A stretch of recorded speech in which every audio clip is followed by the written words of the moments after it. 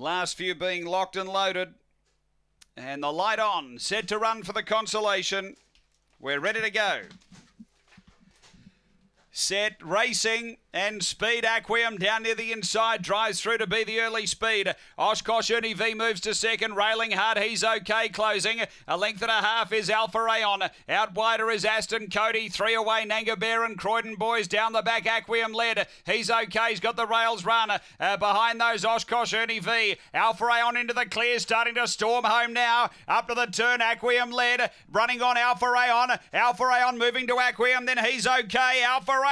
Alpha Rayon takes a consolation. Aquium second. Third, he's okay. Fourth, either Croydon Boys or Oshkosh Ernie V. Uh, then Nanga Bear. And back at the tail, Aston Cody. The run. to around 31 and 30.